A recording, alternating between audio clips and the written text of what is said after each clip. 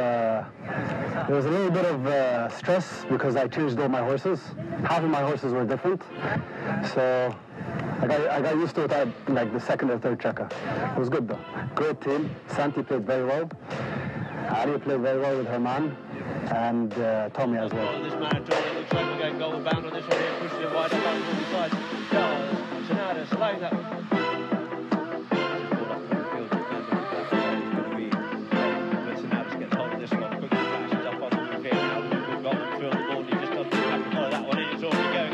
Gone, gone through the goal in.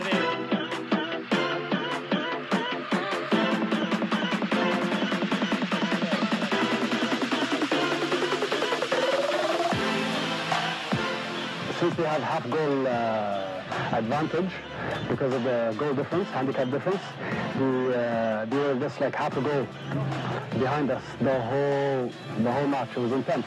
It was very intense. Line out, it's Cernadas, as quick as a dot, quick as a dot.